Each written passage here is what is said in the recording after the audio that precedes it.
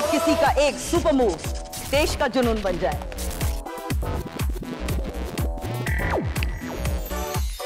जब किसी की एक अदा हर दिल को याद आए। और जब भूल ना पाए इंडिया, उनके साथ बिताए हुए पल, तब जाकर कहलाता है कोई। डांस का कल, लौट कर आ रहा है। वही सुपर मूव्स का Gurukul. Super dancer chapter two auditions हो रहे हैं। 10 अगस्त को हॉलमार्क पब्लिक स्कूल चंडीगढ़ में और Adarsh Shishu Vihar higher secondary school Indore में।